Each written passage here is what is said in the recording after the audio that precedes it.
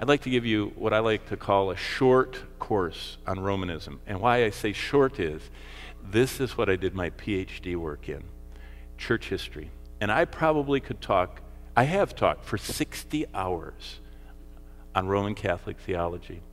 Read every theologian, studied all of theology to do with the church for, for five years of my life.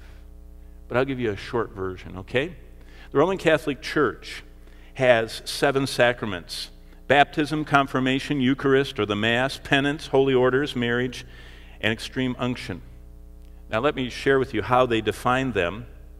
This is from the Catechism of the Catholic Church. No tricks. This is actually, uh, you know, this is just exactly what they believe. This is what they say. The sacraments of the Catholic Church are efficacious signs of grace, instituted by Christ, entrusted to the church. Now, here's the key by which divine life is dispensed to us. If you know any Roman Catholic person, this is what their church believes. Now, I don't know where they are. I don't know how much of this they believe. I don't know how much they embrace. I don't even know if they even understand. But this is Romanism, Roman Catholicism. The instant a person is born, they're in the negative. They're, they're behind the line to go to heaven. So they must be baptized. And baptism gets them to the start line to go to heaven. And they go through confirmation, and they go through confessions and penance, and they go through all of the various mass celebrations they can go to. In fact, some people are really into this, and they go every day.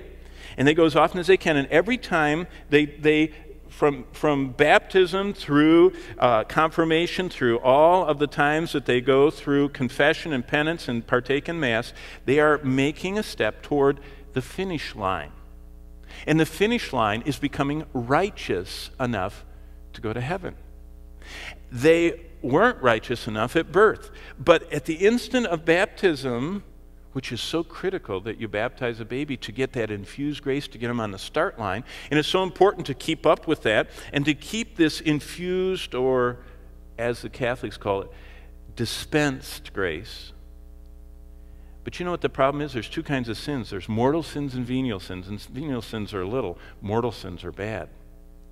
A venial sin you can just tell the priest about and just do penance and go on. A mortal sin takes you all the way back to square one.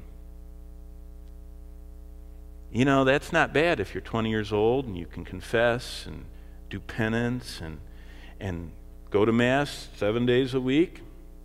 You know what's really bad is if you do that until you're about 79 or 80 and you do a mortal sin and you go back to zero. And you're back at the starting line. What happens to people that die this side of the entrance to heaven? Well, the saints had more than enough grace to get to heaven. And so all their excess, like Mary and Peter and Paul and John and you know, all the great saints throughout the ages, St. Augustine, St. everyone that you've ever heard of, those people had more than enough. They went past the line. And as far past as they went, that extra grace God takes and puts into what the Catholics call the treasury of merits. And that's up in heaven. And if you're going along here and you don't quite make it, and you only get to right here and you die, you go over in a waiting room called purgatory, purge. You got to have those sins purged and you got to get this grace. And there's only two ways you can get it either be there and, and a little bit God gives you, and it takes several hundred years, or if you were really bad, thousands of years, and you go like this, or your family and others can pray for you, and, and God will dip out of the treasury of merits and pour onto you, and, and you might get out rapidly if they do it enough. Now that that's 60 hours, but that is honest to goodness gospel truth Catholicism.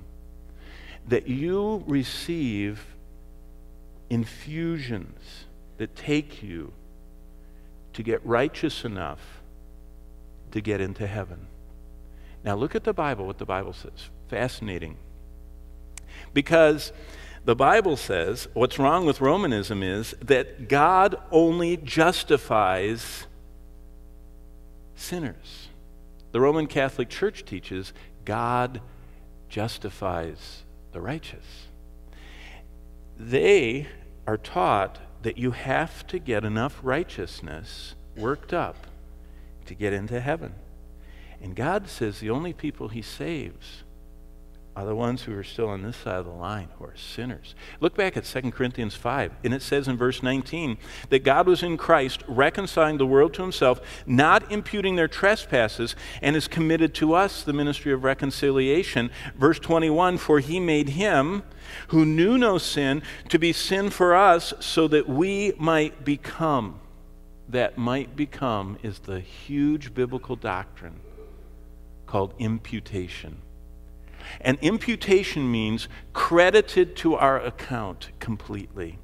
And the book of Hebrews says that by one sacrifice, Jesus Christ, once and for all, paid the entire price of sin.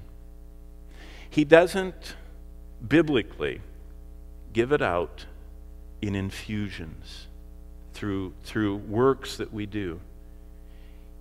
He gives it instantaneously the moment we come to Christ.